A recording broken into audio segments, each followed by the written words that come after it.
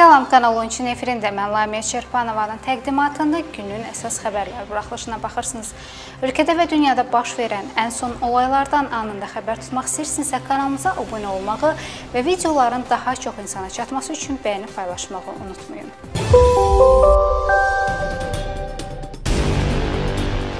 28 ildən sonra Şuşada konsert təşkil olundu. Bu barədə video görüntülər sosial şəbəkələrdə yayılıb. Şuşa şəhərinin işğaldan azad edilməsindən sonra ilk dəfə hərbiçilərimiz üçün konsert təşkil olundu. Cıdır düzündə qurulan səhnədə xanəndələr çıxış edib muğam oxudular. Həmin görüntüləri sizə təqdim edirik.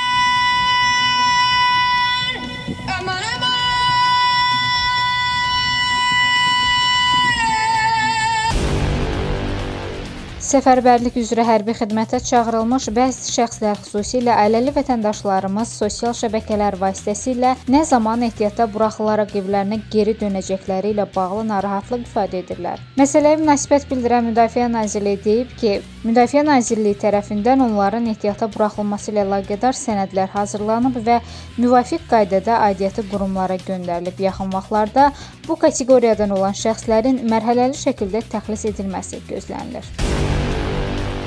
Bu arada Müdafiə Nazirliyinin əmri ilə qısa müddət ərzində mütəxəssislərdən ibarət bir neçə komissiya hərbi birliklərdə şəxsi heyətin yerləşməsi və məişət şəraitinin yoxlanılmasını həyata keçirib. Qeyd edilib ki, kompleks yoxlamalar nəticəsində ümumilikdə təminat məsələlərində sistemli problemlər aşkar edilməyib. Bununla belə bəzi cüzi nöqsanlar müəyyən edilib və aşkar olunan bu çatışmamazlıqlar dərhal aradan qaldırılıb. Vəzifələrin icrasına səhlənkar yanaşan nöqsanlara yol verən bəzi vəzifəli şəxslər cəzalandırılıb və onlar barəsində müvafiq tədbirlər görülüb.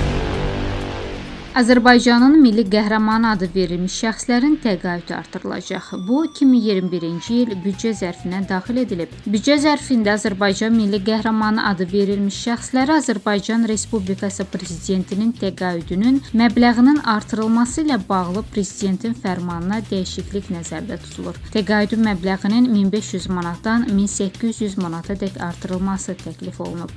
Bu arada Milli Məclisə müharibə ilə əlaqədar birinci dərəcə əlilliyi olan şəxslərə prezident təqaüdünün məbləğinin 250 manatdan 400 manatadək, ikinci dərəcə əlilliyi olan şəxslərə 230 manatdan 350 manatadək, üçüncü dərəcə əlilliyi olan şəxslərə 210 manatdan 300 manatadək artırılması təklif olunur. Dekabrın əvvəllərində Rusiya kütləvi informasiya vasitələri dırnaqarası Dağlıq Qarabağ hökumətindəki mənbələrinə istinadla ilin sonuna qədər Xankəndində aeroportun açıla biləcəyi haqqında yazıblar. Bu zaman şəhəri Stepanakert adlandırıblar.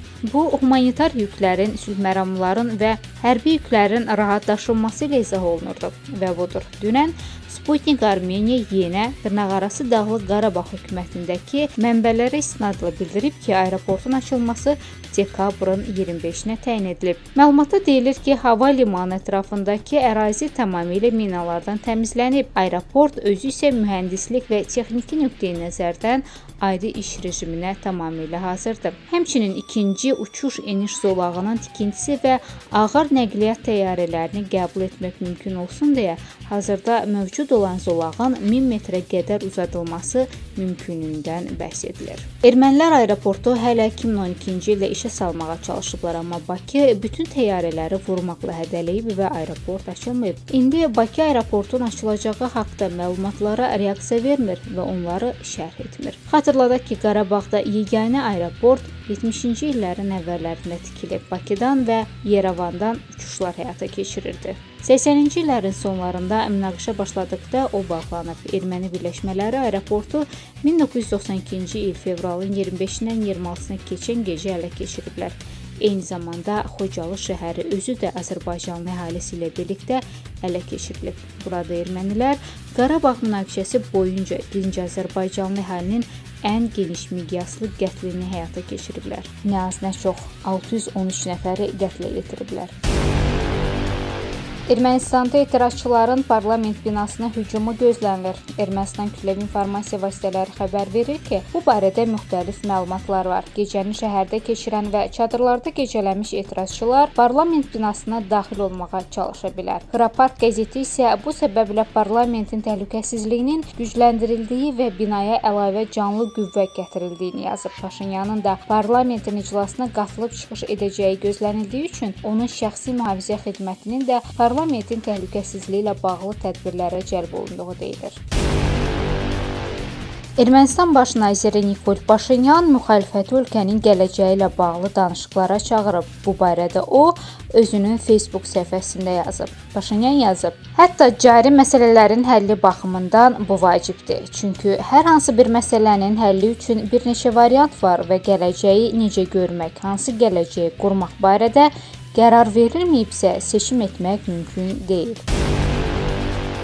Nikol Paşinyan bir yandan müxalifəti danışıqlar masasına dəvət edib gələcəyi birlikdə planlaşdırmağı desə də, digər yandan müxalif liderlərinə, funksionerlərinə təzyiq göstərib onları sintaqa cəlb edir. Ermənistan kütləvi informasiya vasitələri xəbər verir ki, Daşnaküstün partiyasının funksioneri İşğan Saqateryan istintaq komitəsinə çağırılıb. O, komitəyə çağırılması barədə özü məlumat verib. Saqatelyan deyib ki, səbəb kimi onun dünənki mitinqdə çıxışı zamanı nitqində cinayət elementləri olub-olmamasının araşdırılması göstərilib. Müxalifətçi bunu siyasi təzyiq kimi qiymətləndirib. Növbəti ilin 1 yanvar tarixindən Azərbaycanda icbari tibbi sığortanın ikinci mərhələdə tətbiqinə başlanılacaq.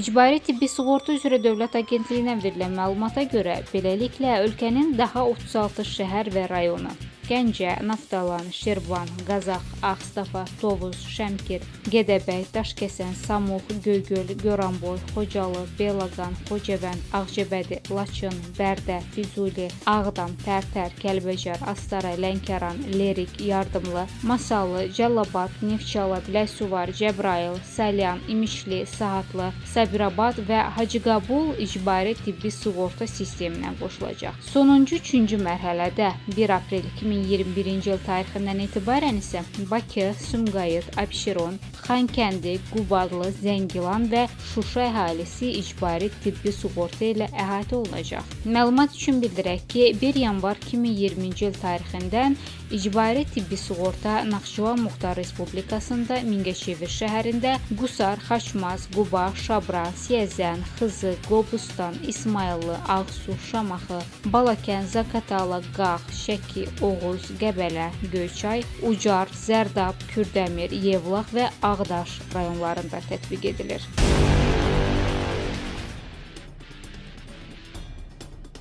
Seçmenler. Maşallah. Döyüş meydanında. Danışıklar yoluyla yok.